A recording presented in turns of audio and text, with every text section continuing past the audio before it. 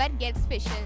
Now I introduce the Hyundai Creta Compact SUV, the next all new project from the South Korean car market.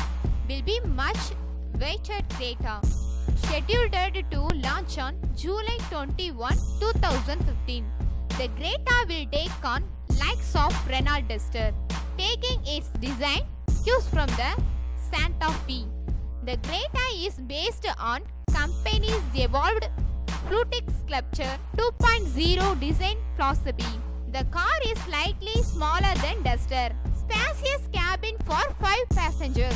The top space car are very well loaded with features, but we'll have to see what makes it lower variants.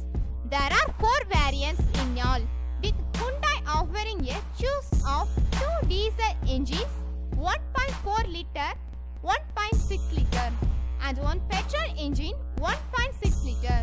The diesel 1.6 has the only auto option which is a 6-speed box. The cute Hyundai Creta have a variety of color. White, red, blue, chocolate brown and saffron are available.